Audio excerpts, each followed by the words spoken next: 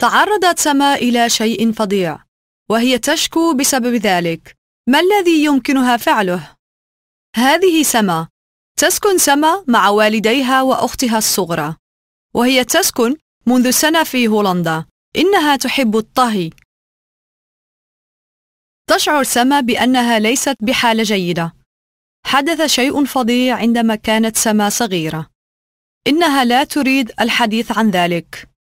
تصبح سما غاضبة بسرعة أو خائفة بسرعة أحيانا وهي تنظر كثيرا إلى ما يفعله الأشخاص الآخرون. إنها تفزع بسرعة من الأصوات. تريد سما أن تكون بالقرب من أمها في المنزل. ترى سما أحلاما فظيعة كثيرا. غالبا ما تنام أم سما معها في الغرفة. سما خائفة وهي تشكو من ذلك. يشعر الجميع أحيانا بأنه خائف أو بأن وضعه غير جيد. لكن سما تشكو من ذلك كثيرا. أكثر من الأطفال الآخرين. لا تريد سما البقاء في المنزل لوحدها. يحصل الكثير لسما. يجد والداها أنها تغضب بسرعة. يقول المعلم في المدرسة أن سما لا تنتبه بشكل جيد. ويقول الأطفال في صفها أن سما كثيرا ما تكون متوترة. تفزع سما بسرعة من الأصوات مثلا. صديقتها قلقة. تريد صديقة سما مساعدتها. تذهب سما وصديقتها إلى معلم تثق سما به. يصغي المعلم جيدا. يعتقد المعلم أن سما تحتاج إلى مساعدة. كما يفكر مقدم الرعاية الخاص بالمدرسة كذلك. يسمح للطفل دائما باصطحاب شخص إلى الموعد. شخص يثق الطفل به. يمكن أن ينظم طبيب الأطفال والشباب وفريق الحي مساعدة للأطفال. تذهب سما بمساعدة المدرسة إلى المعالجة النفسية. تذهب سما لوحدها إلى المعالجة النفسية. تساعد المعالجة النفسية الأطفال عن طريق التحدث معهم. إذا لم ترد أو لم تستطع التحدث باللغة الهولندية يمكنك طلب مترجم شفهي. يساعد المترجم عن طريق الترجمة. تتعرف سما أولا على المعالجة النفسية ثم تجري المعالجة النفسية فحصا. وهي تطرح أسئلة على سما وكذلك على المدرسة. وذلك للنظر إلى ما يحدث لسما. ثم ستساعد المعالجة النفسية سما. تعرضت سما إلى شيء فظيع. لا تفضل سما التفكير في ذلك ولا الكلام عنه. تخبر المعالجة النفسية أن سما تشكو من رأسها ويسمى ذلك بالصدمة. لدى سما توتر بسبب ما تعرضت له.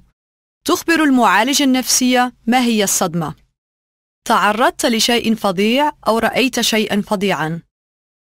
يمكن أن يكون ذلك قد حصل للتو أو منذ زمن أبعد. وذلك مثل حادث أو شجار.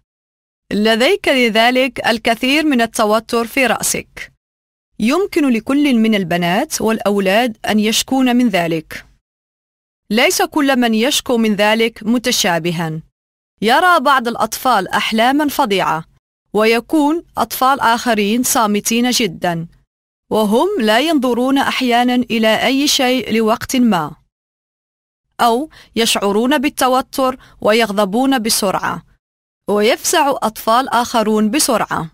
لا يثق بعض الأطفال بأي شخص بعد ذلك وكثيرا ما يشعرون الأطفال بالذنب. يمكن أن يتعرض الأطفال في جميع البلدان إلى أشياء فظيعة.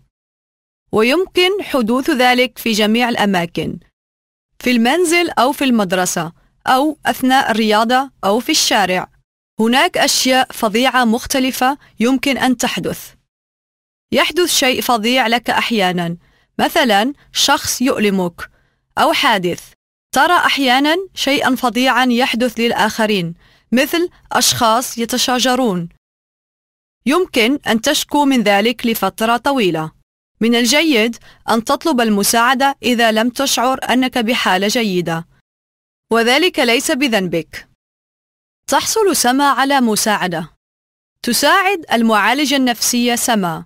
هناك طرق مختلفة للمساعدة. إحدى الطرق هي الحديث. تتحدث المعالجة النفسية مع سما حول ما حدث.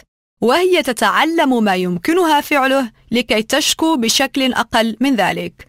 كما تساعد المعالجة النفسية والدي ومعلم سما. تحس سما ببعض الصعوبة عند التحدث مع المعالج النفسي لكن يساعد ذلك. وهكذا فهي تذهب كل أسبوع إلى المعالجة النفسية. تشعر سما بأنها أفضل.